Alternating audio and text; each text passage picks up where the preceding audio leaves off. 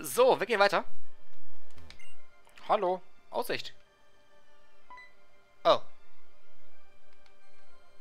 Ja, sie ist weg. Okay, äh, worum man sieht, ich habe keine Ahnung. Wird schon ihre Gründe gehabt haben oder so? 3%. Eine 3%ige Chance, äh, einen zusätzlichen zu kriegen. Das heißt, wenn ich 33 mal was ziehe, dann müsste ich eine Bonustasche kriegen. Na, das lohnt so, ich weiß nicht. Oh, dein Traum-Pokémon normal war. Ah, sagt Chu, es ist ein Pikachu. Es ist ein getarntes Pikachu.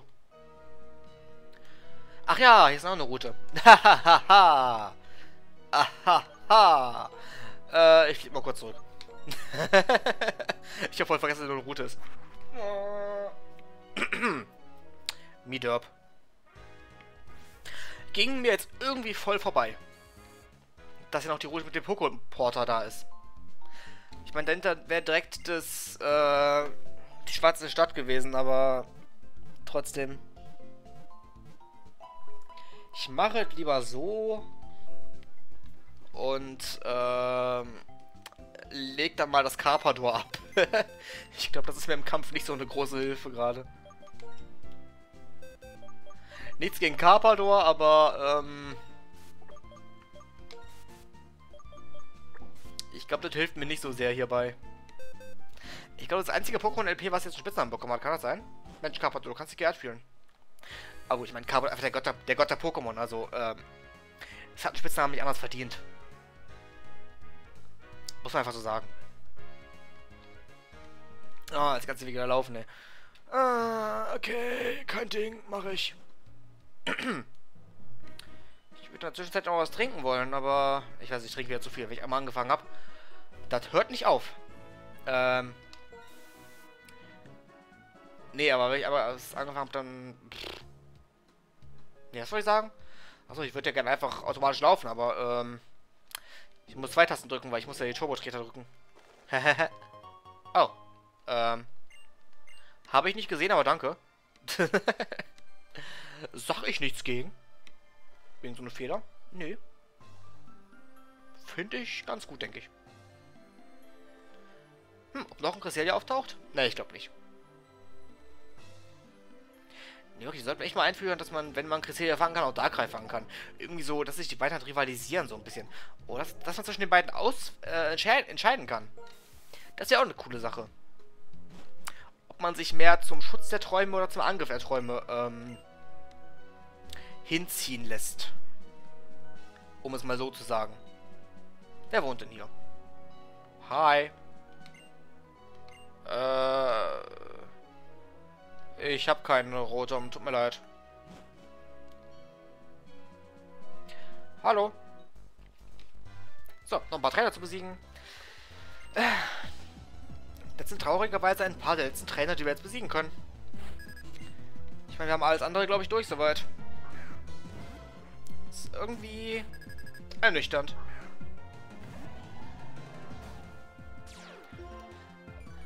Ich frage mich gerade, waren wir wirklich in der Panaero-Höhle drin? Ja, oder? Natürlich waren wir da drin. Was, was denke ich mir gerade? Aber ich weiß genau, wo wir noch nicht waren. Nämlich in Maria City. Da konnte man ja noch surfen. Da waren wir nämlich auf keinen Fall. Das weiß ich. Bin ich mir sehr sicher. Und ich weiß nicht, warum ich drin geblieben bin. Egal. Au. Das kann wehtun. Geht aber. Gut, da ich da Schaden litten habe, macht... Ach, äh, macht Vergeltung. Warum wollte ich gerade Vergewaltigung sagen? What the... Okay, Kopf. Du denkst seltsame Dinge. Hör auf damit. Das tut nicht gut. wow. Wie komme ich denn jetzt auf sowas? Ich nehme zu viel am Stück auf, also ich bin's, ich bin's nicht gewöhnt. Äh, ich habe so lange nicht aufgenommen, wie ich es jetzt gerade tue. Also lange nicht so lang, wie ich es gerade tue. Und ich glaube, mein Kopf macht da irgendwie gar nicht ganz mit. Der denkt sich auch nur, ach du Heiliger, hör auf, red einfach nicht mehr weiter. Irgendwie sowas denkt er sich garantiert gerade. Aber weißt du was, Kopf? Nö, mache ich nicht. Ich, ich rede weiter. Solange bis ich Aufnahme beende. Und das wird halt eben so lange sein, bis ich alle besiegt habe. Und wenn es noch ein bisschen dauert, dann dauert es halt noch ein bisschen. Blub, Pech gehabt. Wirklich, Kopf, hast einfach Pech gehabt. Ist not my problem. Wenn ich glaube, ich sollte in der Schwarzschau mal eine Pause einlegen. Ich brauche noch eine Pause. Äh. Wirklich. Ich brauche wirklich mal eine kleine, eine kleine Pause, brauche ich mal. Da ich dann wirklich einfach mal anders weitermache. Was heißt mal anders? An morgen wahrscheinlich dann. Logischerweise. Okay, ganz logisch ist es nicht, aber im Zuge der Umstellung ist es sehr logisch. Weil ich möchte es durchziehen. Ich muss es, ich muss immer wieder betonen für mich, tut mir leid. Äh, aber ich muss mir auch irgendwie selber glaubhaft machen, dass ich das will. Ich meine, ich will's. Ich muss aber glaubhaft machen, dass ich es kann. Dass ich es tun möchte. Da muss ich mich irgendwie noch ein bisschen überzeugen. Ich weiß nicht. Ähm. Ja, egal. Ich will nicht wieder damit anfangen. Ich mache einfach und äh, da hat sich das alles.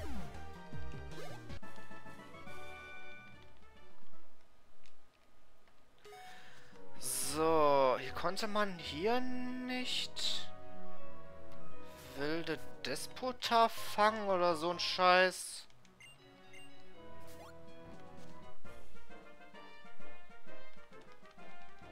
Oder wo war das?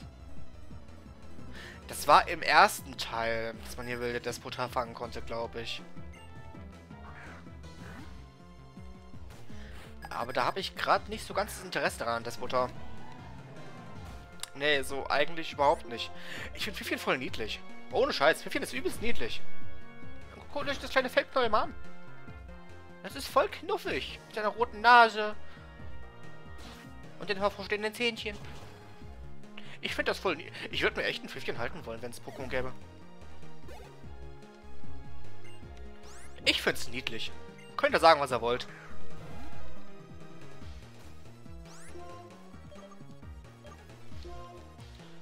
Ich gerade noch so, okay, man kriegt das gerade Slowdown zu spielen. Hm, vielleicht brauchen wir PC auch mal eine Pause. Kann ja sein. Man weiß es nicht, ne? Kurtel, vielleicht auch noch draußen. Bei welche geht einfach Karo hier gerade? Einfach alle wegsurfen, dann hat sich das.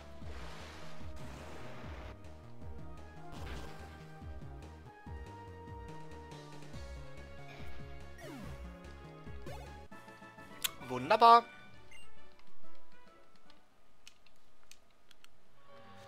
So, was haben wir denn hier oben? Hier dürfte nur ein Item sein, wenn überhaupt. Oder gar nichts. Doch, da war, äh, da war doch ein Item. Das sieht man fast nicht. Das ist gemein. Weil wenn der Kopf drüber ist, dann sieht man das nicht. Und man sieht es wirklich nur in dem Bruchteil der Sekunde, wenn man hier hinläuft. Weil sonst die Brücke verdeckt. Das ist Gemeinspiel. Das macht man nicht. So, den Stein schiebe ich mal kurz. Dann habe ich den unteren Pfad zumindest. Ich war, war ja nicht noch ein Kaskade-Ort oder sowas. Weiß ich gar nicht ganz genau. Ich will nicht wissen, ob sie will, das Portal gibt, ganz ehrlich. Bin ich doch nicht ganz so scharf drauf, es zu wissen.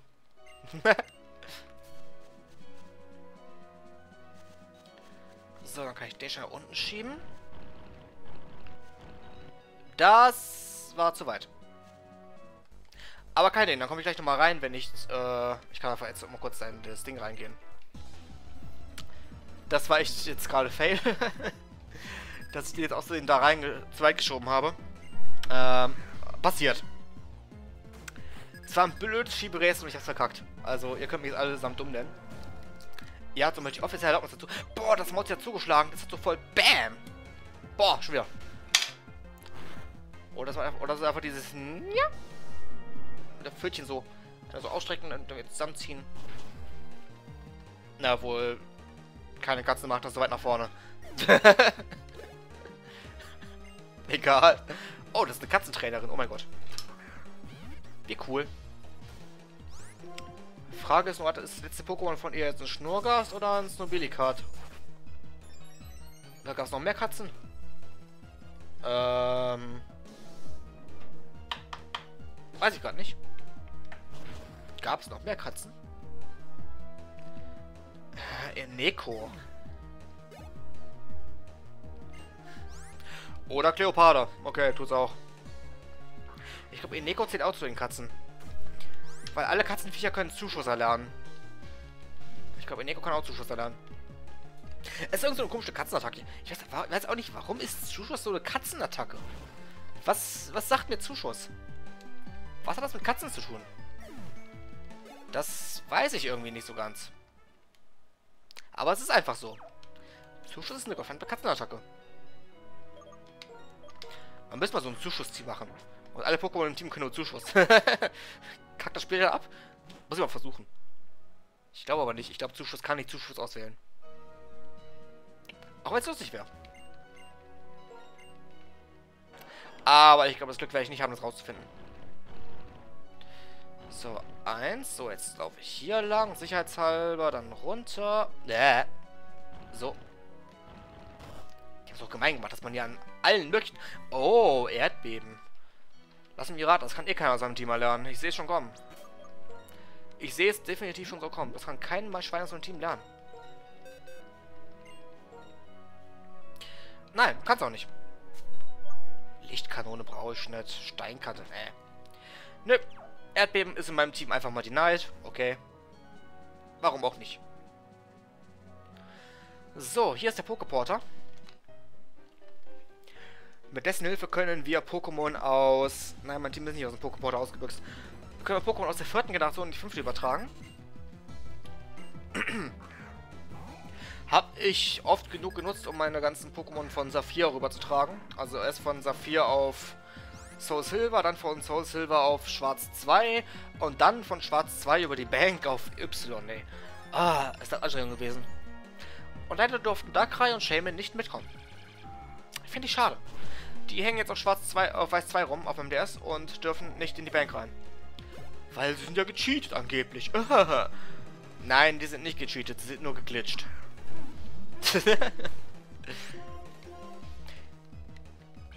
ich bin nur durch die Schwärze zu ihnen gelaufen, damit ich kein Event-Item haben muss.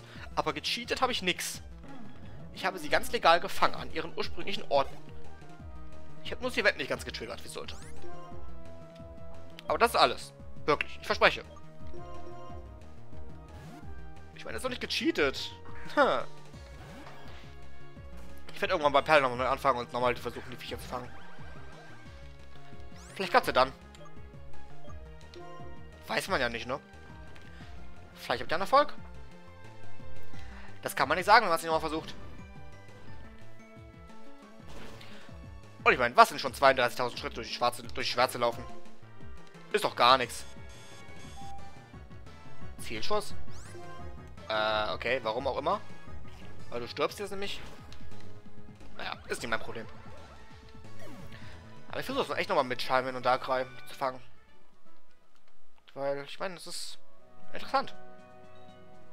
Achso, ich bin hier, okay. Ja, schauen wir mal kurz in den Pokeporter rein, oder?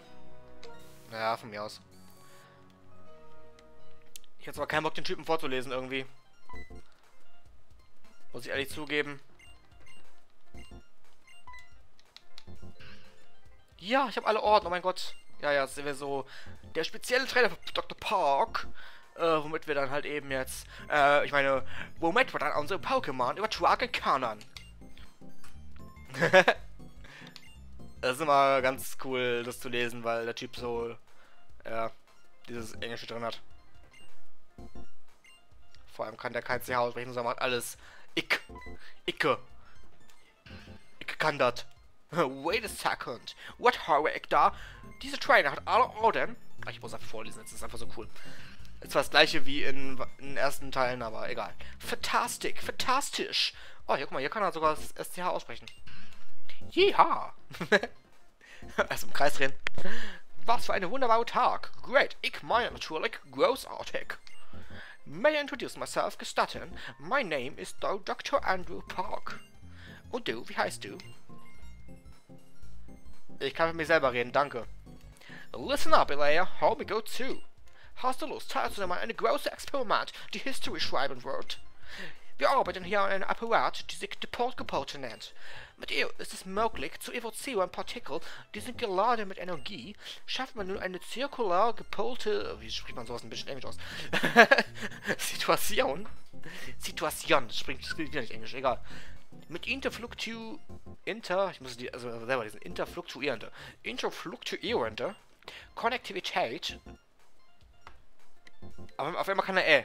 Eben konnte das nicht zwischen zwei Nintendo DS-Systemen, bla bla bla, bis man die Moleküle über die richtige Frequenz, bla bla bla. Dann mussten nur noch die Alpha-Strahlen mit die Pokémon pleonastizieren. Pleo... Ist das nicht ein Dinosaurier-Zeitalter? Pleonasti... Ach, keine Ahnung, weiß ich, was das ist. Schieß mich tot, weiß ich nicht. Fuhr ein Ergebnis, die ist einfach fantastisch. Um es kurz zu machen, bla bla bla, okay. Keine Items tragen, okay. Und da kommst du in die Spiel. Hey, ein Trainer so fantastisch wie du will mich doch bestimmt unterstützen bei einer wahrlich Epoch... E epochales gewesen. Epokale Experiment. Ich weiß, ich spreche gar kein Englisch aus, aber ist mir egal. Ich spreche einfach so aus, wie ich gerade Bock drauf habe. Wer weiß, so verrückt und der kann einfach kein Englisch aussprechen, auch wirklich. Wer weiß. Um die Poképorte einzusetzen, you will need zwei, äh, zwei Nintendo DS. Du brauchst also noch eine Nintendo DS. Ist das okay für dich? Nö. Komm wieder, wenn du es doch noch versuchen möchtest. Boah, so viele Cards immer. Nee, also... Den Typen spare ich mir doch lieber auf für irgendwann anders. Aber nicht für dieses LP. so, dann würde ich meinen... Ähm... Genau, das ist ein als Härtetest. Den gibt es in der Schwarzen Stadt bzw. Wald. Und ja, schauen wir mal rein. Die schwarze Stadt.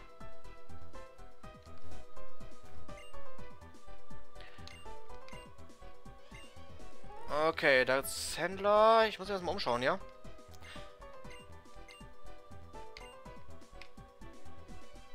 Und hier irgendwo muss der schwarze Turm sein. Also das Layout ist ein bisschen anders als im Weißen Wald, ist ja klar, weil hier sind halt eben Häuser und nicht Natur. Ähm also sieht alles ein bisschen anders aus.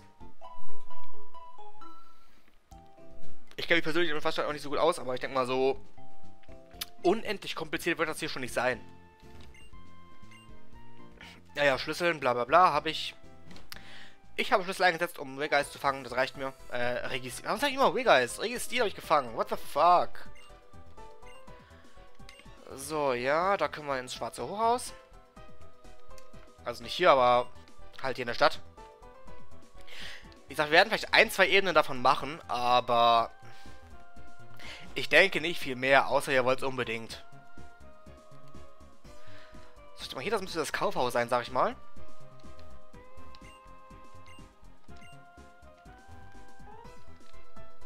Ich meine, Schutz mal weg hier. Ich muss ja nicht ewig nicht noch weiter unnütz verbraten hier. Ja, kann man fast alles verkaufen, ja, ja. Aber man sieht, hier sind eigentlich so ziemlich gar keine Händler. Die Händler kommen nach und nach, je nachdem, wie weit man im schwarzen Hochhaus kommt. Und wir haben gerade einfach keine Händler hier. Und alle in der Stadt, alle in der Stadt drehen sich nur ums Geld. Geld, Geld, Geld, Geld, Geld. Alles Geld. Und keine Händler. So, dann gehen wir nach oben. Da haben wir das schwarze Hochhaus, wie man es schon oben sieht.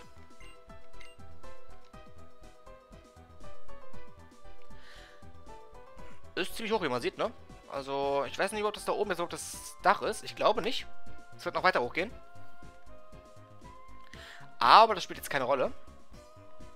So, da müssen wir dann nochmal auf die Route kommen. Aber ich echt mal, ich mache erstmal eine Aufnahmepause, ey. Mein Mund braucht mal ein bisschen Pause. ich habe echt, echt lange nicht so viel geredet wie jetzt gerade, ey. Ohne Scheiß. Was haben wir geschafft? Wir haben alles geschafft. Wir haben Wendberg abgeschlossen, wir haben Turn-Up-Fahrt gemacht, wir haben äh, drei legendäre Pokémon gefangen. Tatsächlich. Und wir haben den Weg zur schwarzen Stadt beschritten. Jetzt müssen wir eigentlich nur diese Route hier hochgehen. Ich glaube nicht, weil wir müssen zum Schrein der Ernte gehen. Wenn wir da nicht schon waren, werden wir bei der nächsten Aufnahmesession sehen. Und dann werden wir weitere legendäre Pokémon fangen. Ich werde mich informieren, wo es welche gibt, wie es sie gibt. Ich werde mich informieren über die Unterwasserruine, die wir noch betreten müssen und aus ausbeuten müssen.